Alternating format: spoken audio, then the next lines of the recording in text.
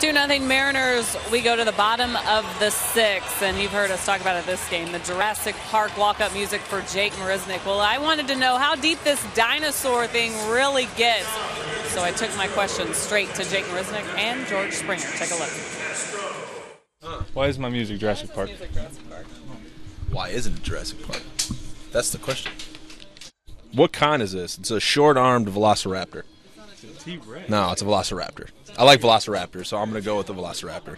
I mean, it's clear. Everyone knows it's a T-Rex. We know it's a T-Rex, but I think it's a, a velociraptor. I would have, I would be a velociraptor. That's my favorite dinosaur. They're fast. They're smart. They work in teams. They make cool noises like high pitched. Make a noise. No. I even put my arms up too. I was like, mm. Sound as a Velociraptor makes. Do you know?